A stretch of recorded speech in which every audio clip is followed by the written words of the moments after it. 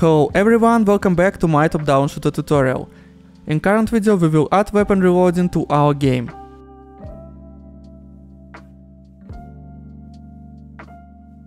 First let's open Mixamo and download an animation for reloading. Unfortunately I couldn't find a specific animation for pistols, so we will use the same animation for the boss, the pistol and rifle. After you downloaded the animation, import it into your project. Next open the imported animation.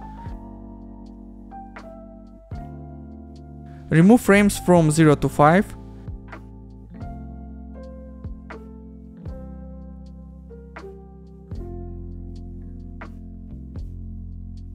And then remove all frames from 86.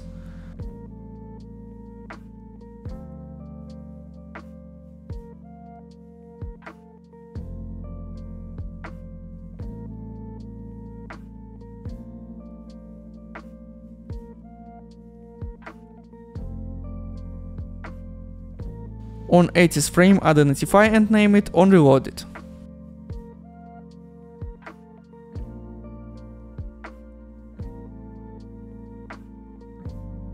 Next open BPI weapon. Add two functions on reloaded and get ammo state. For get ammo state, add a boolean output named is magazine empty. After that open BP gun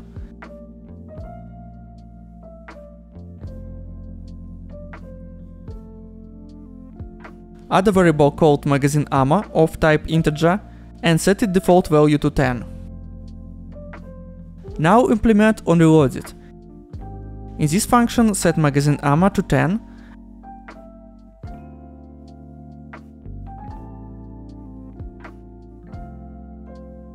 and then call unlock attack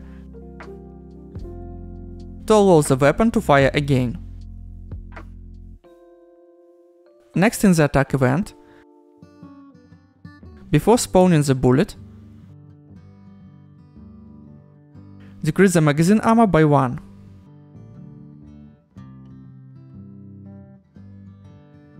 And before the delay,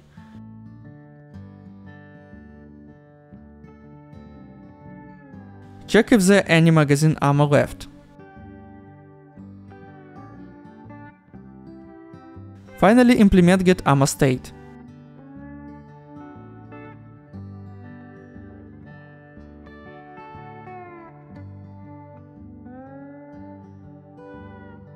Convert magazine ammo to boolean and use not boolean node. And set the result to is magazine empty.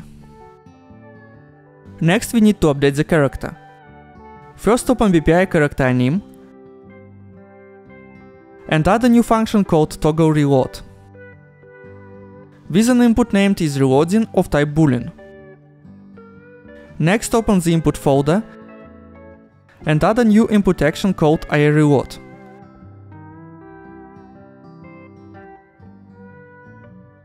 Add this action to the input mapping context and assign R as a key.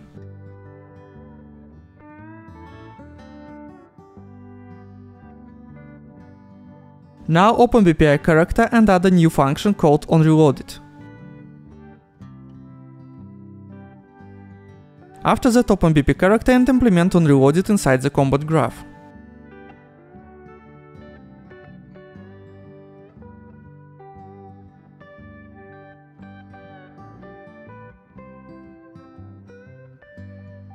Create a new variable called isReloading of type boolean and place it into the weapon category. Inside the onReloaded event, set is reloading to false. Then call onReloaded function of the current weapon.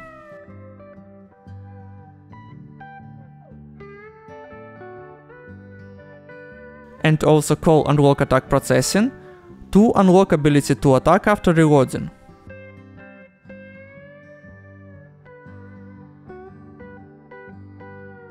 Next create a custom event called start reload.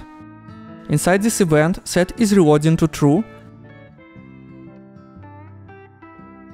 and call toggle reload from the animation blueprint.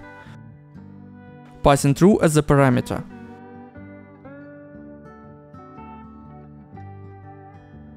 Then implement the reload input actions start pin by calling start reload. Now inside process attack. Next inside process attack. Before checking is aim pose.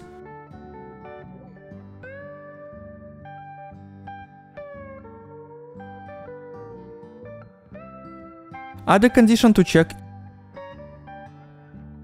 if the current weapons magazine is empty. If it's true, call start reload. If it's false, let the function proceed as it worked before, but update the condition for attacking.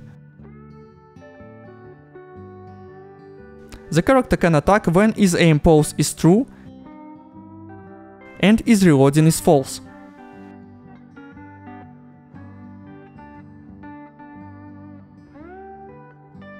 We're finished with the character class, so next let's update the animation blueprint. Start by opening the event graph. First implement the toggle reload function and promote the is reloading input to a variable. Next add an anim notify event for onReloaded. In this event set is reloading to false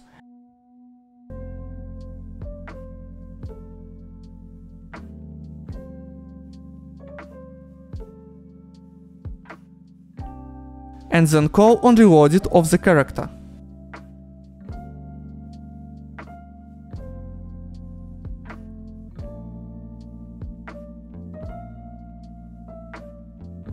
Now it's time to work on the animation graph. In the animation graph, get is reloading and use not node to create an alpha value. When we converted boolean to float, true will become 1 and false will become 0. This will disable the left hand attaching to the weapon, where the character is reloading it. Now open the state machine. Add a new state called reloading. For this state, I suggest copying the description of animation state, but without the rotation,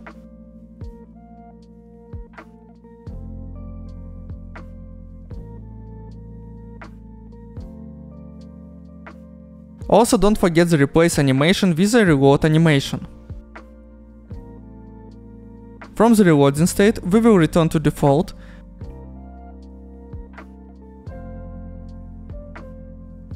when is reloading is false.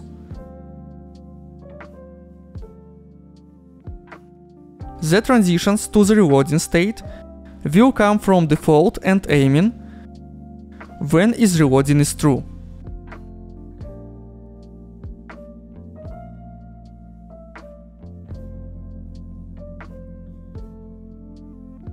For the transition from aiming to reloading, add an event called onAimDisabled, similar to the transition from aiming to default.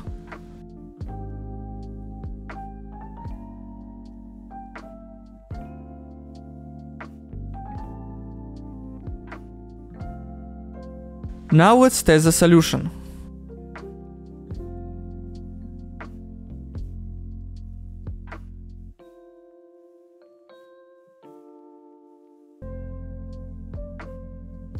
The animation isn't perfect, but it works as expected. Thank you for your attention and see you soon!